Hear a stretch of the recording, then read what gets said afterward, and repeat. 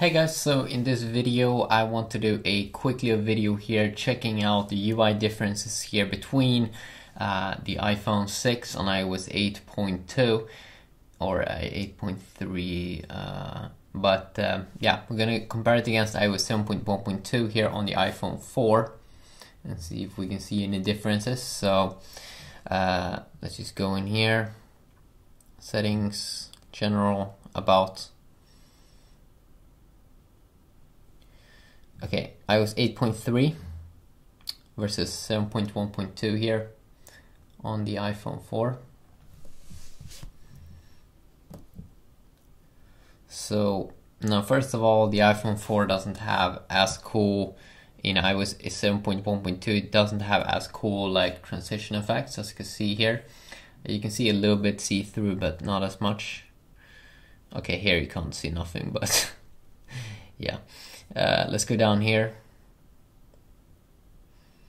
Same kind of UI look here, mostly, but you have an all and missed. Here you only have today notifications, so they made it a little bit easier to know what uh, what you are looking at.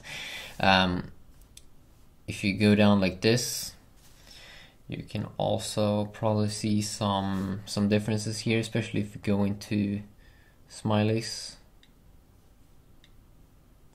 Don't we even have any smileys here? Hmm, maybe I need to add them. General. Keyboard.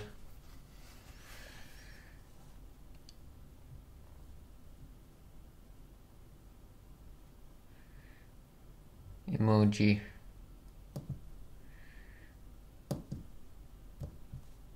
One problem here with iPhone 4 is usually they have very very slow home buttons.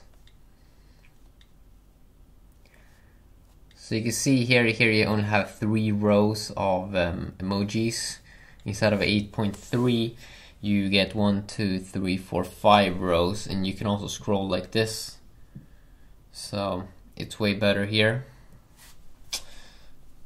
to scroll through these.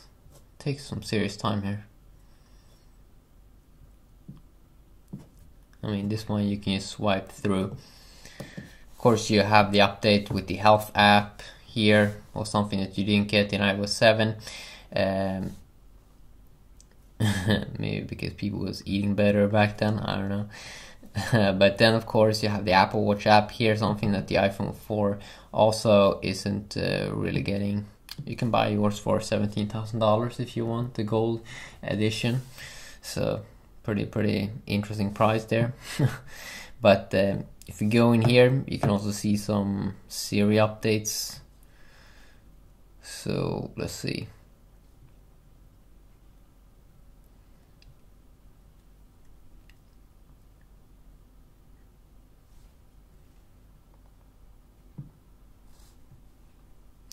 Wow, don't we even have Siri on the iPhone 4?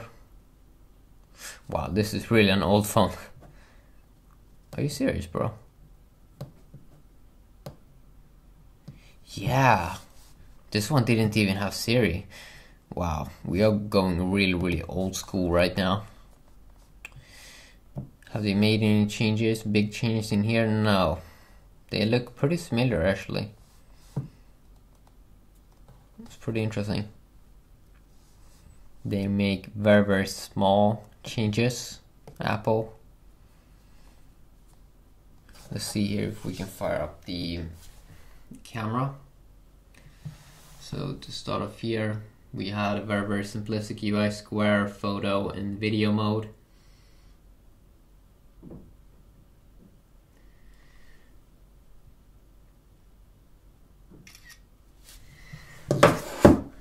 Now with the iPhone 6 we're getting a little bit more modes here. You do have like the slow motion mode, you do have time lapse mode,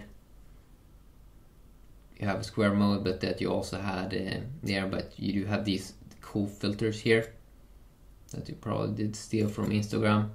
Panorama mode as well, so you can just swipe, which could also be pretty pretty nice there. If you fire up like the dialer here. You can also see that it hasn't really changed that much. Fire up the the App Store as well.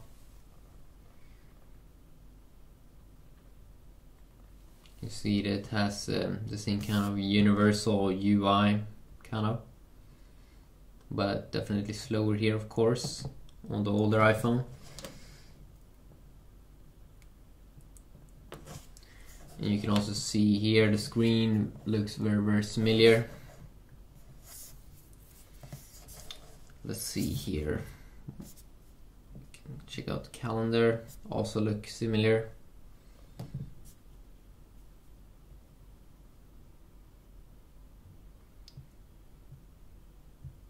Let's see here if we can pop up the web browser.